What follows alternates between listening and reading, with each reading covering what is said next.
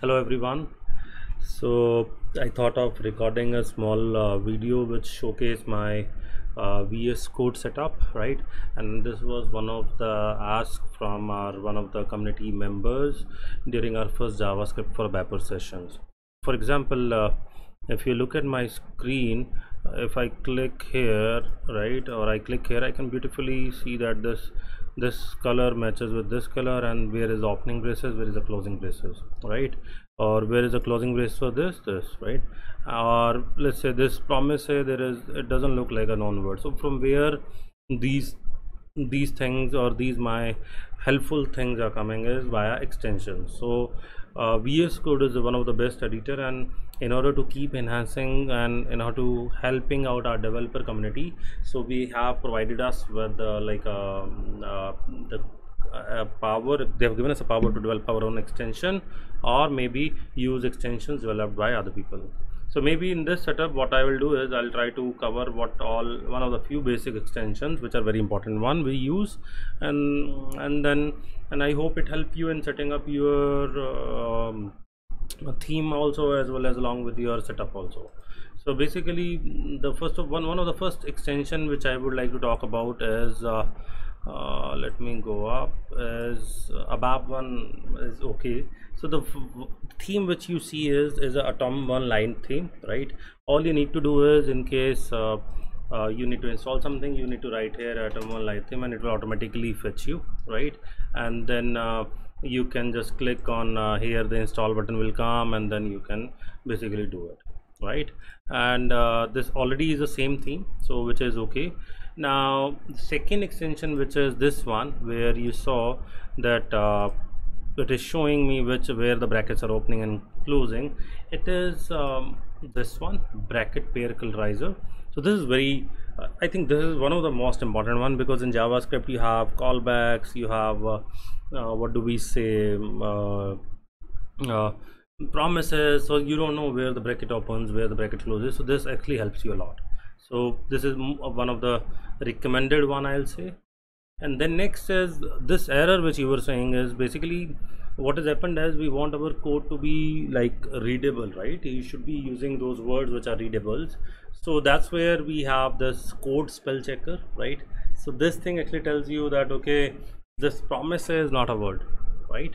So that is where it actually helps me then uh, another important one is which is normally we use when we have to beautify things up right? For example this uh, we have this color one right? Color highlight. So what it does is for example if i write any color code right? So it automatically you know colors this in the same way right? So basically uh, it helps you in in checking what code it is right? Or uh, what color it will show like. So that's where it helped me docker and these are these are more specific towards uh, the the other experiments which we are doing on docker and other areas right? But i think apart from color highlight this git lens is very important. For example you see this message coming you 10 days ago session or there is a this file has been modified or you see this right where what all changes are.